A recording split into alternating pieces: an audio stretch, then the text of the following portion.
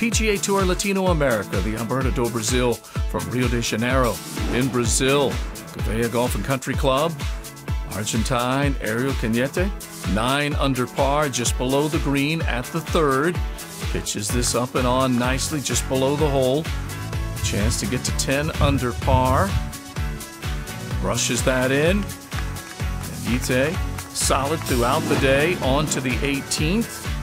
First three rounds in the 60s, looking to wrap up a round of 68. A little bit of a claw grip there. Cañete in the clubhouse at 11 under par. Back to the 12th.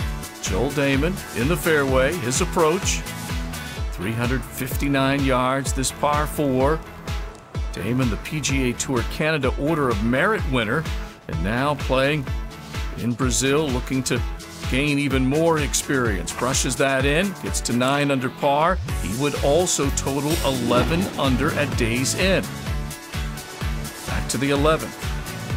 A 340 yard par 4. And Brazil's Rafael Becker drives the green, brushes that in from inside of 6 feet for an eagle. On to 13. Another of the scoring opportunities that Becker would convert. He hold that from the bunker, just disappearing into the cup, and another eagle for Becker. On to the 18th. 12 under, one clear of the other two in the clubhouse at 11 under.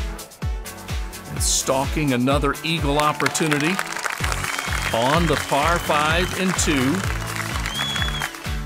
And at 29 years of age, he's looking for one more highlight. Uphill putt. And three eagles for Becker on the back nine, the first Brazilian to win on the Latino America schedule.